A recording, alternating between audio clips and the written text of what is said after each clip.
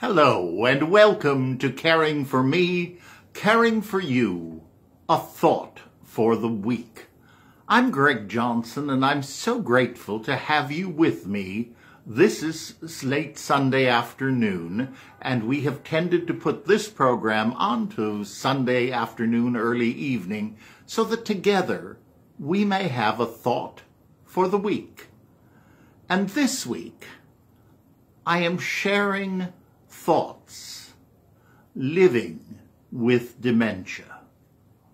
In the world of family caregiving, this is one of the most frequently heard illnesses, challenges, and I wanted to share something that I recently read, something I've known, something I've shared before but it's something that I think we can all appreciate and can help each of us who is living with persons with dementia so we can walk forward together. Be caring for me, caring for you. Agree, never argue.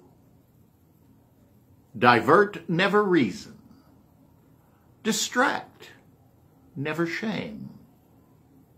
Reassure, never lecture.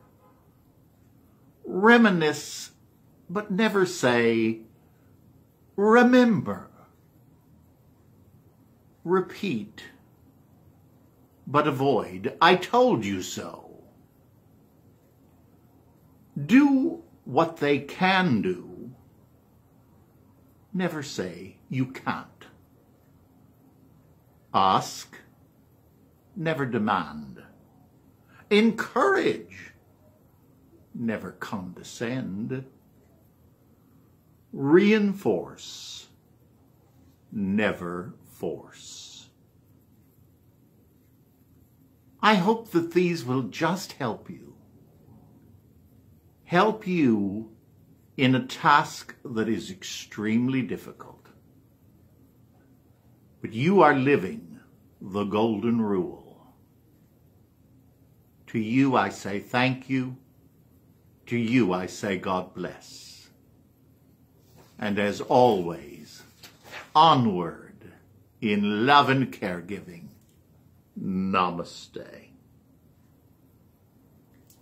God bless and have a wonderful week. And remember, you can